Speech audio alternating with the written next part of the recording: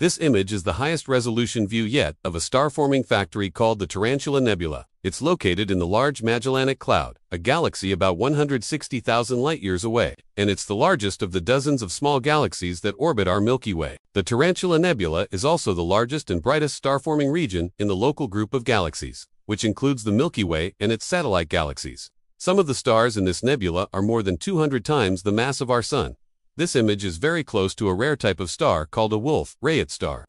These stars are extremely hot and luminous, powering dense and furious stellar winds. The glowing gas and dust around the star form a spectacular nebula. This image was created using data from the Hubble Space Telescope's ultraviolet and visible light cameras. Hubble is able to capture these beautiful and intricate details.